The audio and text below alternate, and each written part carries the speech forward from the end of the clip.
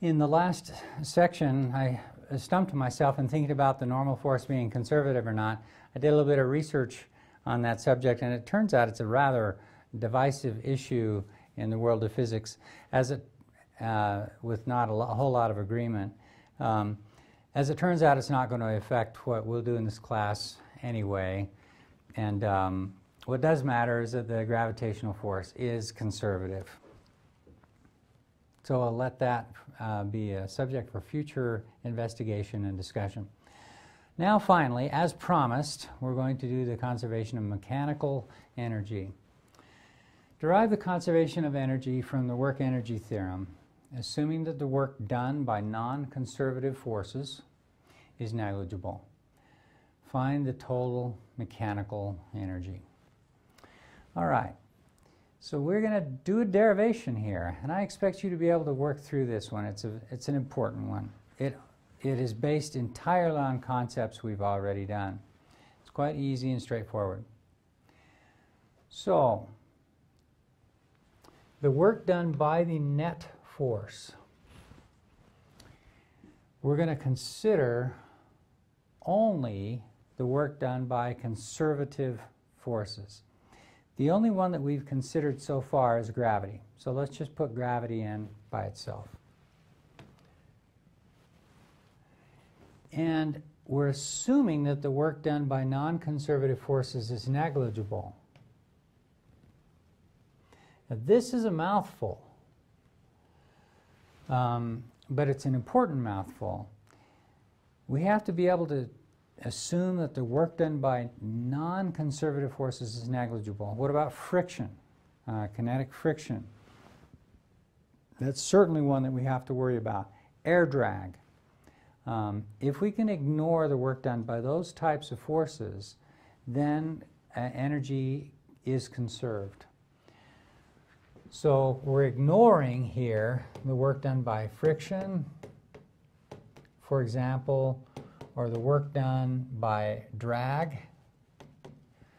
So we're considering these to be uh, negligible, meaning we can neglect them in the analysis.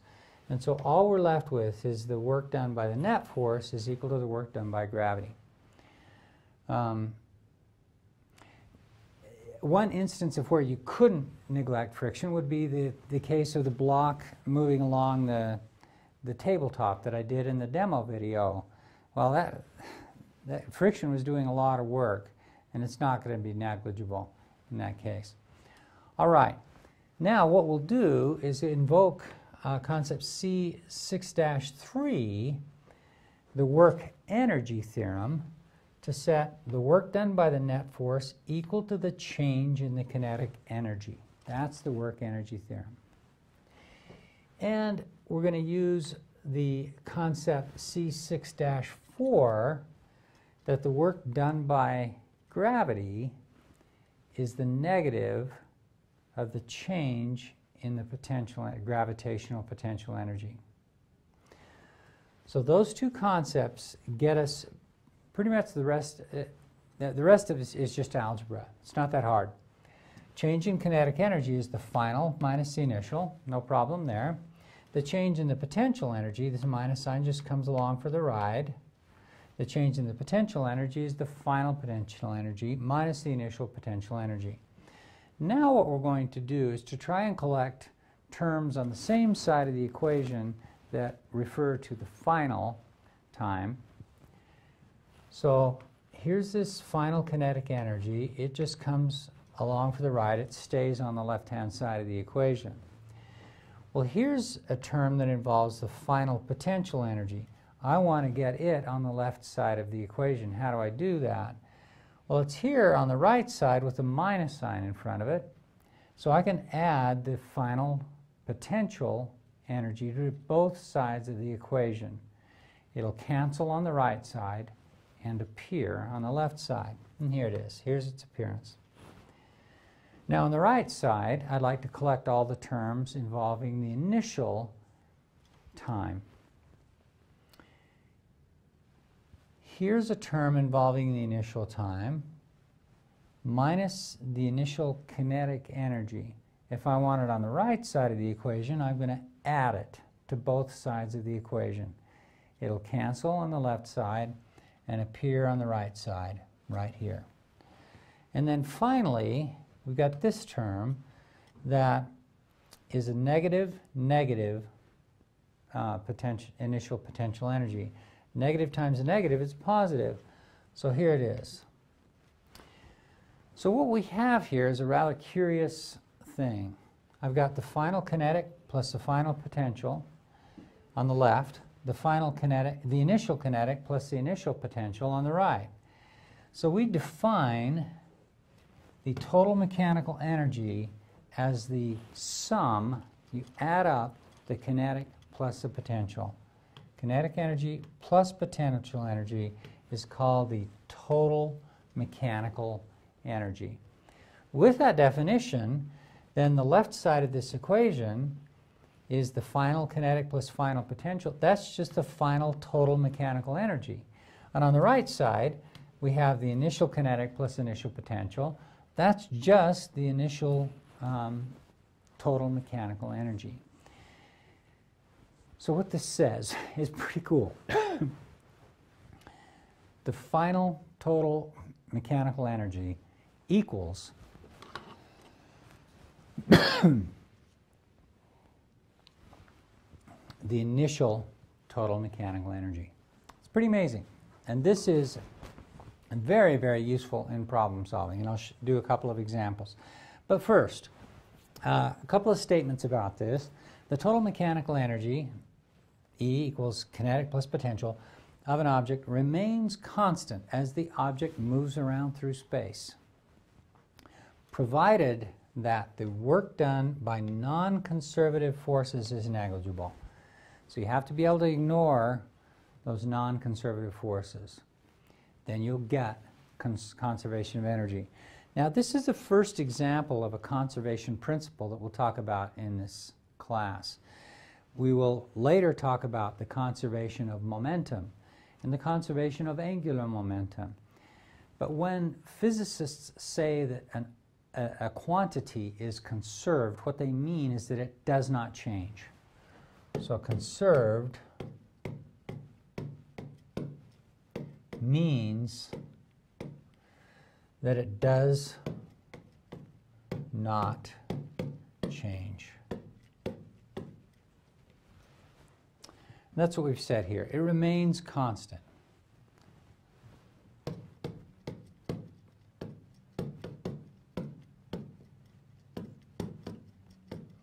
So if I say that energy is conserved, I mean it remains constant as the object moves through space. Um, and here's the kind of more, a little deeper philosophical statement of the conservation of energy. Energy cannot be created or destroyed, but it can be converted from one form to another. So we can convert kinetic to potential or potential back to kinetic. And but but the energy, the total energy, the sum of the two has to remain the same. So if you increase the potential energy, you're going to have to decrease the kinetic energy or vice versa. We'll see um, this in various guises during this semester when we talk about springs and also next semester when we talk about electric potential energy, and also next semester when we talk about E equals mc squared, that energy and matter are, are different forms of the same quantity, and, and um, through Einstein's famous relationship. So here's an example. Uh, you've got a, a sled, suppose it, uh, you consider it to be frictionless uh, that slides down this track. At the top, when it's at the top of the track, the height is large. And so the gravitational potential energy must also be large. So we're going to start off with a lot of gravitational potential energy. So maybe 600,000 joules when it's at this top position. Uh, the kinetic energy at the top is zero because we're releasing it from rest.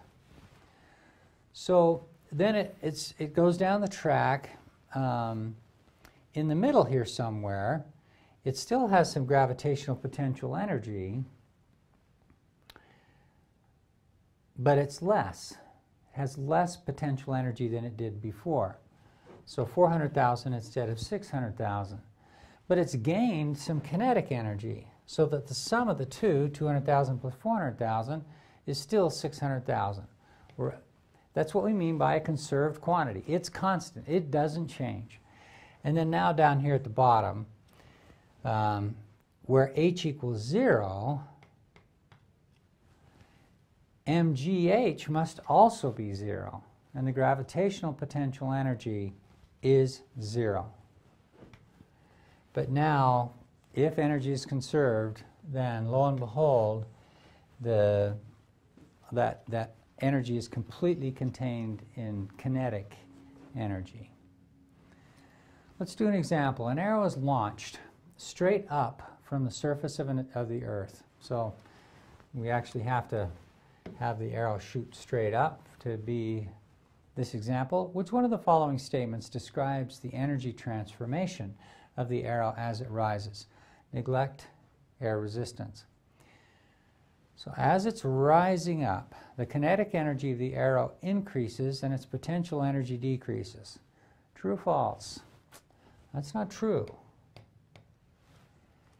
Because as you get higher and higher, the potential energy increases, not the kinetic. The kinetic energy decreases because it's going to slow down. The speed is going to be less.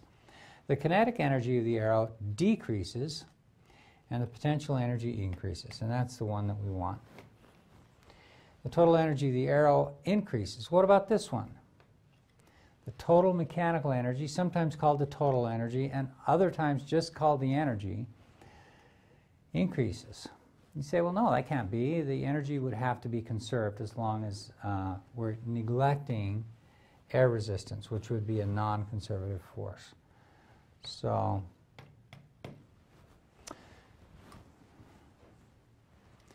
All right, a gymnast leaves a trampoline at an initial height of 1.2 meters and reaches a maximum height of 4.8 meters. So this is, the initial height is 1.2 meters and the final height is 4.8 meters. Before falling back down, what was the initial speed of the gymnast? Great question. This is an example of the power of um, conservation of energy. Let's do it.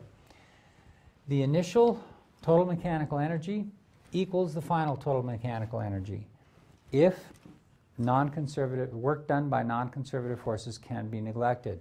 Can it be neglected in his, this case? Yeah, he's a big, heavy gymnast. Uh, air resist. He's going to be moving fairly slowly through the air, so air resistance can be neglected in this case. Initial kinetic plus potential. Here's the initial kinetic. Uh, here's the initial potential energy. Final kinetic, final potential energy. Let's plug, um, well actually what we're going to do is we're going to start canceling some things. We can simplify this equation by multiplying through left and right sides by 2. So I'm going to multiply this term by 2, this term by 2, this term by 2, and this term by 2. Well, that 2 cancels this 1 half. We'll have a 2 left over there. This 2 cancels that 1 half. Then I'm going to divide through the whole equation by the mass. So that mass, mass, all these masses get killed. And what's left over is V naught squared plus 2GH naught. There's the 2 GH naught equals VF squared, the final speed squared, plus 2GH uh, 2GH final. We're looking for the initial speed of the gymnast. So it's an interesting thing. It's pretty easy to figure out. I mean, you can estimate, you could put a little ruler or tape measure, find out how high the gymnast went, and, and that's easy to measure, 4.8 meters. Um, but it's a little harder to measure the velocity. This is an example of, of a problem where you can actually calculate the velocity, the initial velocity.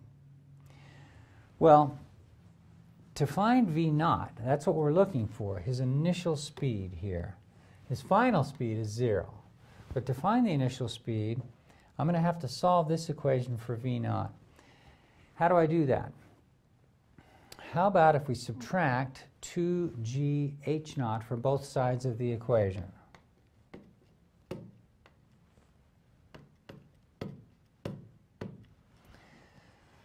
It'll cancel on the left side, and we'll left, be left with this mass, mess on the right side. Then we're going to take the square root of v naught squared to find v naught. And here we go. Here's my v naught, and I had to take the square root of this whole mess. Uh, the square root of vf squared, that's that term. Uh, 2ghf is this term. 2gh naught is that term, where I've factored out the 2g. Well, now we can just plug in the numbers. We know that the final speed is 0 meters per second, and we know 2, we know g, um, gravitational acceleration, final minus initial heights. And plug the numbers in and you get 8.5, roughly 8.5 meters per second. It's how fast he was going when he just left the trampoline mat. Another example, it's actually similar in a lot of ways, but it seems, it seems a lot more complicated. This one seems really bizarrely hard, but it's very easy with conservation of energy. A motorcyclist is trying to leap across a canyon. This is Evel Knievel. And by driving horizontally off a cliff at 38 meters per second. Ignoring air resistance, find the speed at which the cycle strikes the ground on the other side. As long as you don't need the time of flight, then conservation of energy is going to be your friend for solving problems. In this case, they're not asking how long he was in the air. All we're trying to find is his speed when his cycle strikes the ground on the other side. We're, the diagram shows that his initial height is 70 meters. His final height is 35 meters. And so we can now apply conservation of energy to try and solve the problem. Here's the initial total mechanical energy on the left side. And here's the final total mechanical energy on the right side. Kinetic plus potential. We multiply through by 2, divide by mass, same as we did in the previous one. Get this equation. Instead of solving for V naught now, we're going to solve for V final because we have V naught. So we solve this equation for V final by subtracting 2GHF from both sides of the equation, giving this result. The algebra is similar to the last example. Plug in the numbers, and that gives 46.2 meters per second. Now, for you to do this with uh, equation uh, with chapter three, with the equations of kinematics, would have taken you a long time.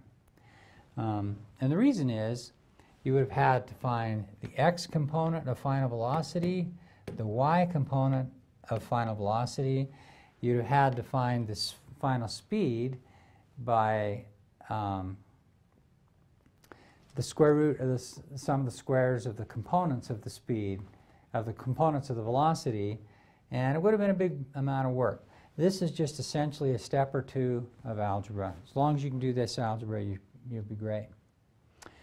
Uh, what about this one? A person starts from rest with the rope held in the horizontal position. So here's the rope.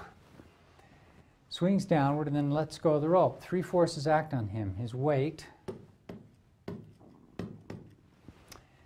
the tension in the rope and the force of air resistance. So there might be some drag here. Let's just call it with a D.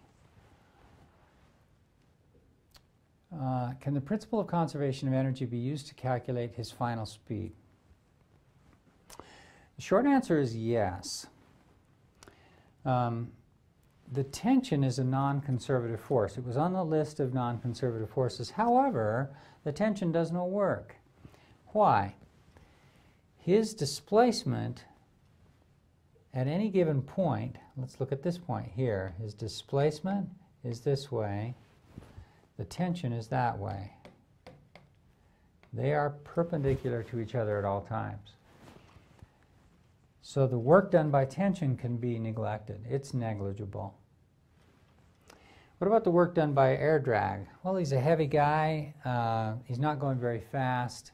I know these, these arguments are a little bit hand wavy, but if you've got a person that's moving at normal speeds, not, not at, I mean, speeds that you can run or, or walk or swing on a swing, usually the air resistance can be neg neglected.